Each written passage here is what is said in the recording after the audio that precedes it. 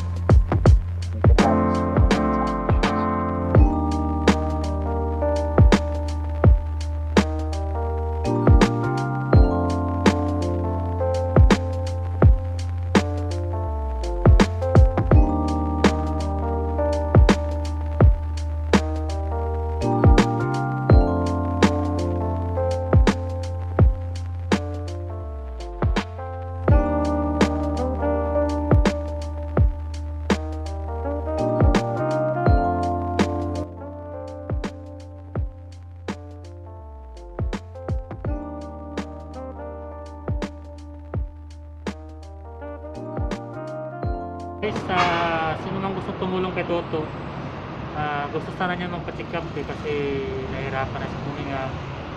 Dahil nasa nadaman niya, yung sisir mo nangangatik sa lahat. Puro sugat yung katawan niya, yung mata niya, ulo, isa makakahinga eh. So kailangan po natin siyang tulungan.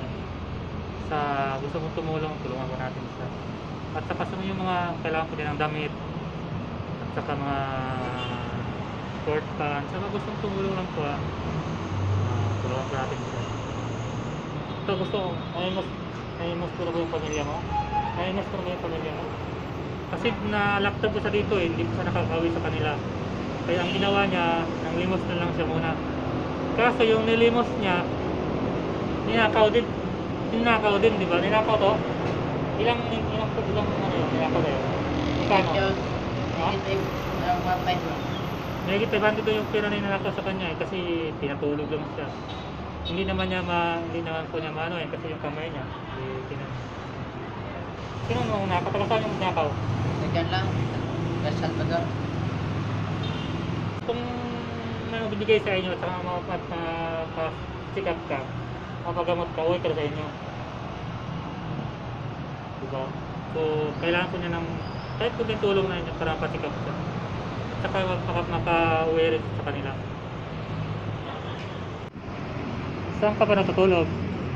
Saan doon sa Tawan? Dito. Wala. Dito. Takali dito. Dito.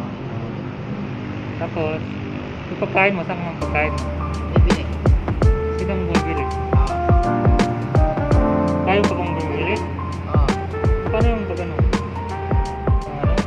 Oo, kaya. Kaya? Oo. Dumudugo na yan oh.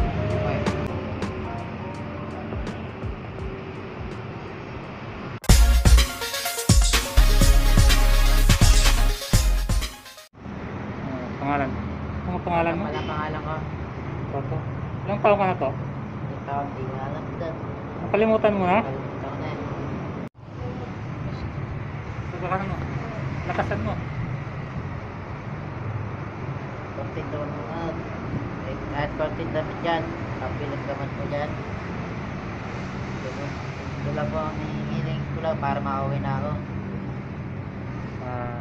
Tsaka ma-check ka, di ba? Dapat Check ma... up lang kung gamit kamay ko, katawan, hmm. apa. Kaya nga eh. Para So, to.